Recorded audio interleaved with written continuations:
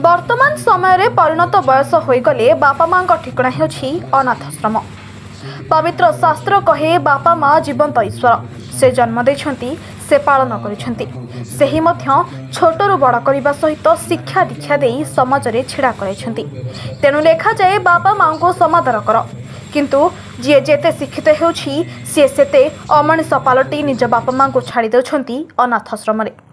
ଏପରି କାରୁଣ୍ୟବାଚକ ପ୍ରବଚନ ଶୁଣିବାକୁ ମିଳିଛି ଜଗତସିଂହପୁର ଜିଲ୍ଲାର ତିର୍ତ୍ତୋଲ ବ୍ଲକର କନକପୁର ଦେଉଳ ଗ୍ରାମରେ। ମା ଶାରଳାଙ୍କ ନିତ୍ୟ ସେବକ ସ୍ୱର୍ଗତ ରାଉଳଙ୍କ ସୁପୁତ୍ର ପିତାଙ୍କର ପ୍ରଥମ ବାର୍ଷିକ ଶ୍ରାଦ୍ଧ ଉତ୍ସବ ଉପଲକ୍ଷେ ଆୟୋଜନ କରିଛନ୍ତି ଆଧ୍ୟାତ୍ମିକ ପ୍ରବଚନ। ଏହି ପ୍ରବଚନ ସଭାର ମୁଖ୍ୟ ଅତିଥି ଭାବେ ଯୋଗ ଦେଇଥିଲେ ଶ୍ରୀ ଜଗନ୍ନାଥ ସଂସ୍କୃତିର ରାଷ୍ଟ୍ରୀୟ ପ୍ରବାଚକ ବାବା ସତ୍ୟନାରାୟଣ ଦାସ ମହାରାଜ। ଭଗବତ ଚେତନା ଆଧାରରେ ଦିବ୍ୟ ପ୍ରବଚନ ପ୍ରଦାନ କରି ପିତୃ ଋଣ ଓ ପୁତ୍ରର କର୍ତ୍ତବ୍ୟ ଉପରେ ତାତ୍ତ୍ୱିକ ଉଦାହରଣ ବିଷୟରେ କହିଥିଲେ।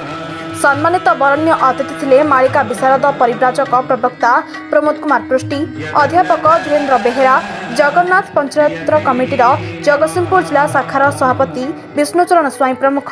ସ୍ୱର୍ଗତ ବାବାଜୀ ରାଉଳଙ୍କ ଜୀବନଶୈଳୀର ଉପରେ ଆଲୋକପାତ କରିଥିଲେ। ସାରଳା ସଂସ୍କୃତି ଗବେଷକ ରମାକାନ୍ତ ରାଉଳ ଅତିଥିମାନଙ୍କୁ ମଞ୍ଚକୁ ଆମନ୍ତ୍ରଣ କରିଥିବା ବେଳେ ସାରଳା ସେବକ ହରେକୃଷ୍ଣ ରାଉଳ ନିମନ୍ତ୍ରିତ ଅତିଥି ଓ ବିଶିଷ୍ଟ ମାନ୍ୟଗଣ୍ୟ ବ୍ୟକ୍ତିମାନଙ୍କୁ ଉତ୍ତରୀୟ ପ୍ରଦାନ କରି ସମ୍ମାନିତ ଓ ସମ୍ବର୍ଦ୍ଧିତ କରିଥିଲେ। ଏହି ଅବସରରେ ବିଭିନ୍ନ ଗଣମାଧ୍ୟମର ପ୍ରତିନିଧିମାନଙ୍କୁ ମଧ୍ୟ ସମ୍ମାନିତ କରାଯାଇଥିଲା।